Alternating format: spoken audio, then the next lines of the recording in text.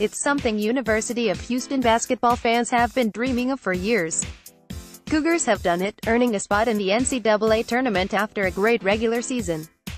Head coach Kelvin Sampson says regardless of what happens at the Big Dance, he's proud of what his players have accomplished and is looking forward to them playing on the national stage.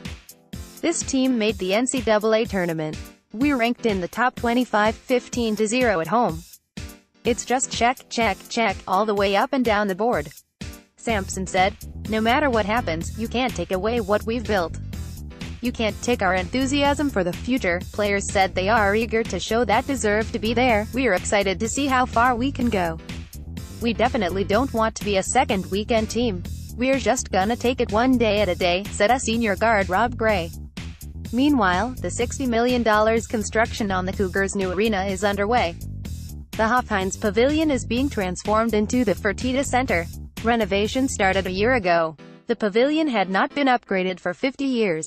Monday, reporters got a tour of the 250,000 square foot arena. The seats that we took out of here were the original seats installed in the late 60s, said TJ Marr, senior associate for capital projects for athletics department at AR. Marr says there will be about 7,100 new seats and a plan to make the court much brighter from the stands. The new arena will be ready for home games in December. Copyright 2018 Co.